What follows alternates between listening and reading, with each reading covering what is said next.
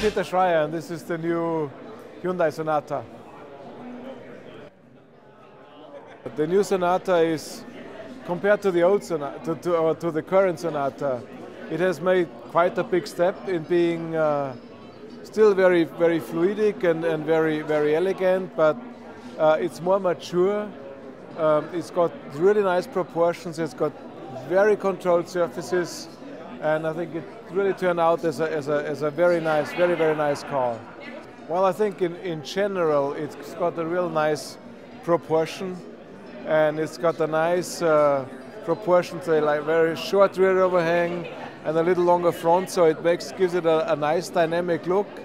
And also the front is um, a lot more mature and has a very confident expression to it with a with a uh, hexagonal grille, very very clean and very clear and very confident and says Hyundai.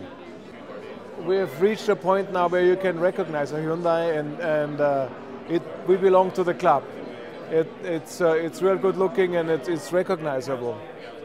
As a mid-size sedan, uh, it plays a very important role. Like it's, it's a, it plays a central role in the in the Hyundai lineup uh, because it's it's very important on this market.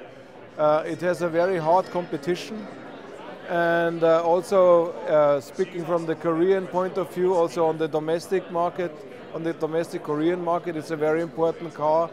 So it's as well domestic as internationally um, one of the uh, maybe backbone cars of the of the Hyundai lineup.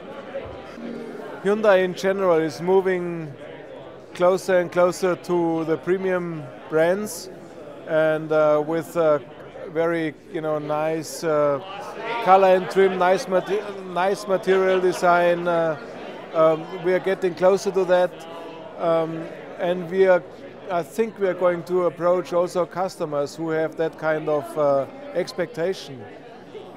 I think maybe it's, it's, it's two sides. One is um, customers, people who have a very high expectation about quality, about uh, uh, a premium look, about a premium feel, but also the young customers with a, a sports version. I think we're also approaching young customers. So we're kind of uh, trying to benefit both sides.